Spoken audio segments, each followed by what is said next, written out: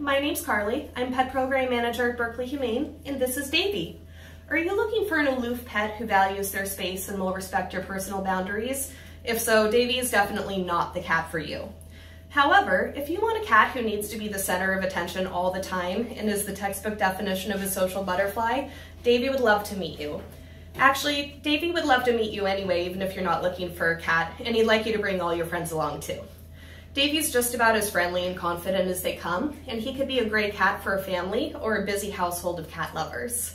If you'd like to learn more about Davey or any other of his feline friends looking for homes, you can visit berkeleyhumane.org for more information.